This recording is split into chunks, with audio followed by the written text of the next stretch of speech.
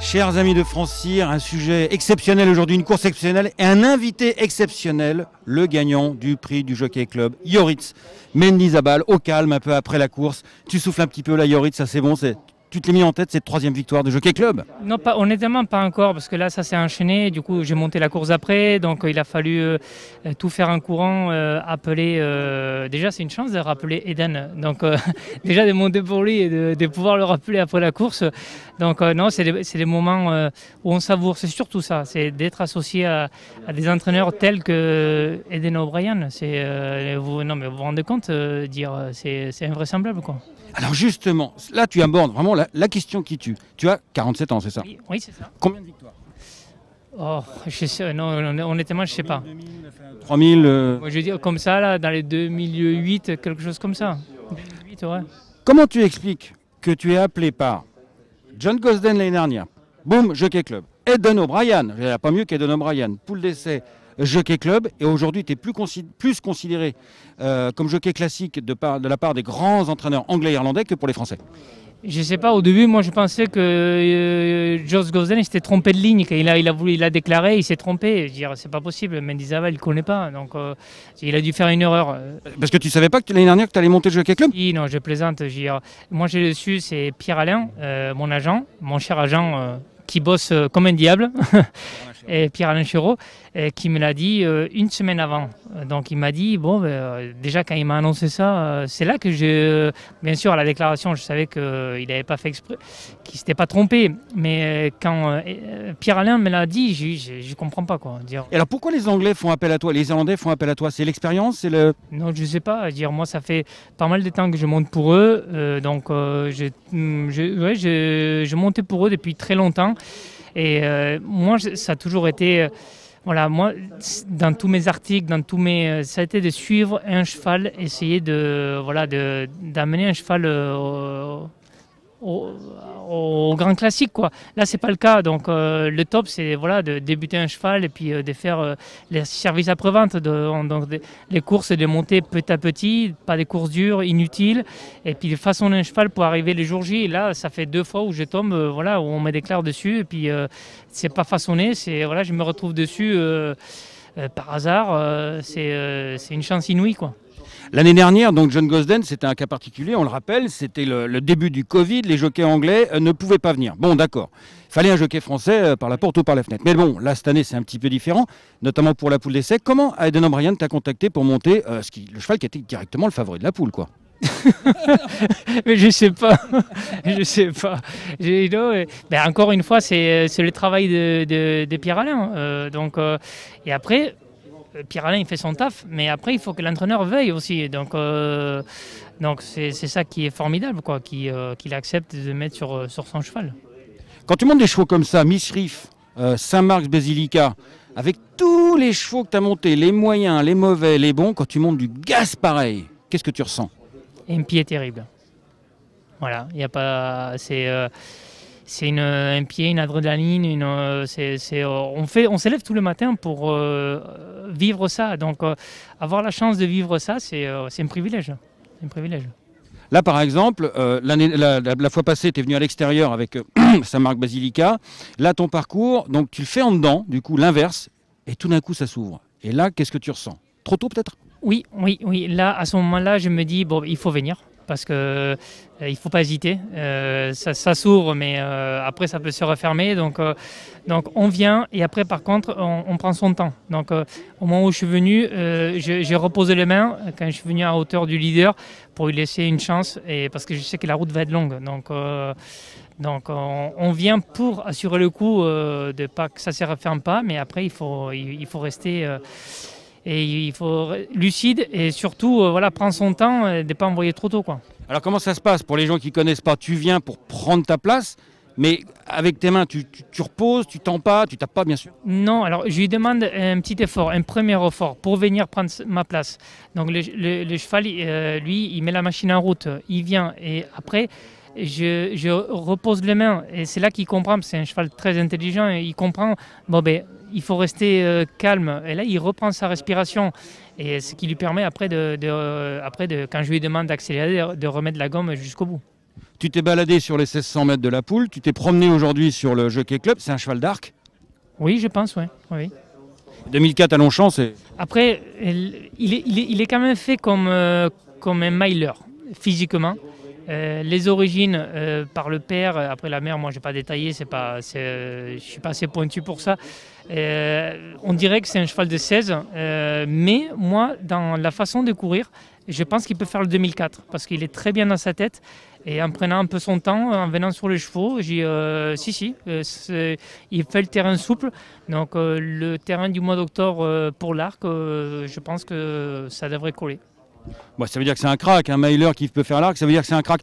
Quand tu mets la casaque Coolmore, malgré toute ton expérience, les milliers de courses que tu as gagnées, quand tu mets la casaque Coolmore, que tu rentres dans les stalles, que tu rentres dans les stalles, est-ce que tu as un, espèce de goût particulier? Peut-être pas le track, mais pas de stress, j'imagine. Comment, comment tu le sens dans ta tête? Non, c'est du bonheur déjà quand on enfile cette casaque-là, c'est du bonheur.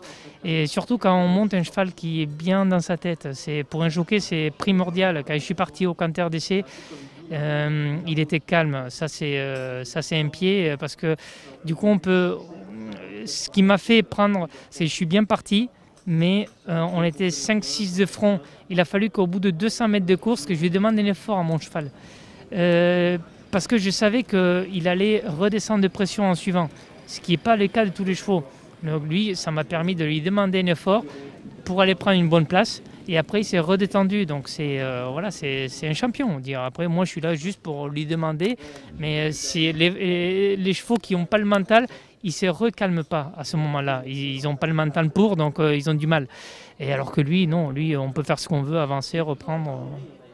Tout est plus facile. Eh oui, effectivement. Il y a 2, 3, 4 ou 5 ans, quand tu as commencé à moins monter, euh, plus ou presque plus à, Paris dans les grandes épreuves, est-ce que tu as eu une baisse de morale ou on sait que tu as un, moral d'enfer, mais enfin, est-ce que tu as baissé un peu de pied en disant c'est la fin ou, ou tu t'es dit ça va revenir?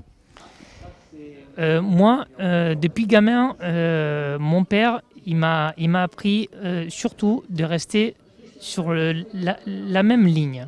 C'est-à-dire la, la ligne directrice, il faut, il faut, il faut pas en déroger. Donc, on fait, on son travail, on fait de la façon qu'on m'a appris. De, on- il faut rien changer. Les choses, soit elles viennent, elles viennent pas. Mais moi, j'ai rien changé dans ma façon de faire. C'est revenu après. Mais tout ça, c'est euh, notamment grâce à mon papa et ma maman, donc qui m'ont toujours inculqué ça. Dire, n'est jamais changé la ligne directrice. Donc, euh, donc voilà, dire bien sûr que la baisse de morale est liée un peu. On va pas dire euh, non, on n'est pas au pays des bisounours. hein. donc donc euh, quand on monte moins, quand on monte euh, que les petites courses, euh, qu'on pense même pas qu'on va gagner un groupe 2 ou un groupe 3, donc, parce qu'on est réaliste, dire c'est dur de trouver des bons chevaux.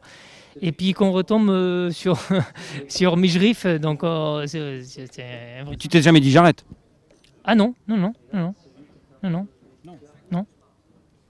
Bah, C'est bien. Tu as 47 ans, Yoritz, c'est-à-dire deux ans de plus que moi. Et je dois avouer que j'ai pas tout à fait ta forme. Comment tu fais pour avoir une forme physique, sans parler du moral, mais une forme physique euh, absolument intacte à bah, 47 ans quoi. C'est quand même un sport de très très haut niveau. Oui, mais après l'hygiène de vie, euh, nous, ben, on est obligé d'avoir une hygiène de vie pour le poids, donc euh, voilà, je pense que ça y contribue. Ah oui, c'est peut-être ça le problème, effectivement. L'hygiène de vie, mais moi je suis pas choqué. ouais.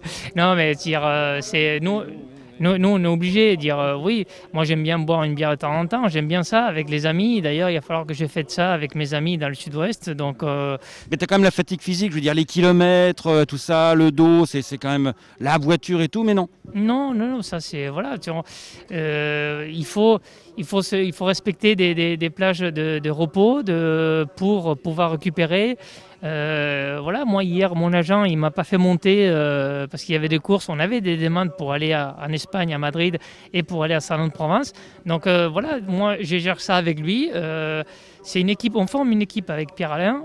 Donc voilà, tout ça, c'est c'est des petits détails, mais des détails ben, qui mis, mis bout à bout, ben, c'est c'est important.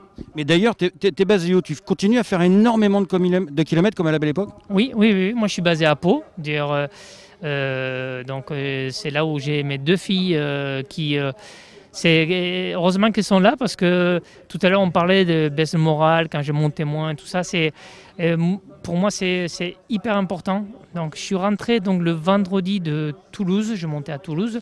J'ai passé la soirée avec mes filles. euh, On était invités chez des amis. Et, et puis, euh, et puis euh, voilà, c'est un, un besoin que j'ai, donc un équilibre. Donc je le trouve avec mes, mes deux filles, Inès et Alix, euh, qui sont, qui sont là pour, euh, voilà, pour m'aider dans mon quotidien. Et qui sont passionnés de chevaux? Oui, elles suivent, elles suivent leur papa. Donc euh, Alix, elle monte, Inès, elle montait, elle a arrêté, elle fait de la danse. Donc euh, moi, je les oblige pas, mais euh, voilà, moi, du moment où elles sont heureuses, euh, papa est heureux. Et pour conclure, est-ce que tu t'imagines, comme Gérald Mossé, hein, c'est l'exemple le plus récent, à 54 ans, est encore là au sommet et gagner des groupes 1 Honnêtement, je, moi, je me projette pas. Euh, Gérald, c'est euh, voilà, c'est c'est quelqu'un hors du commun, en qui j'ai beaucoup d'admiration. Euh, Thierry Jarnet euh, également, c'était euh, quelqu'un à qui j'ai beaucoup d'admiration.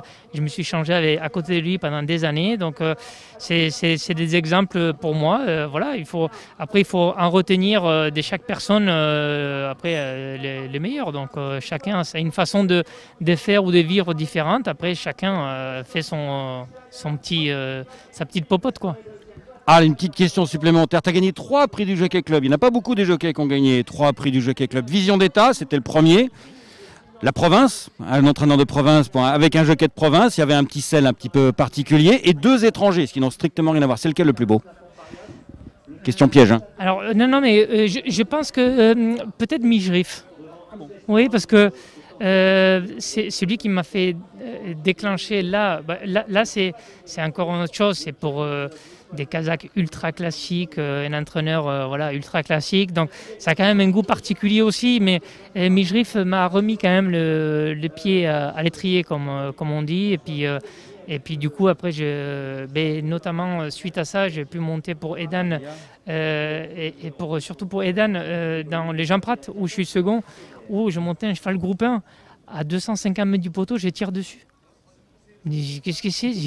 J'ai- pris un pied terrible, je suis second ce jour-là, euh, mais, euh, mais c'est pas grave. J'ai pris beaucoup, beaucoup de plaisir ce jour-là. Ouais, parce que sans Michrif, il n'y aura peut-être pas aujourd'hui, c'est ça en fait? Exactement, exactement. Merci Yoritz.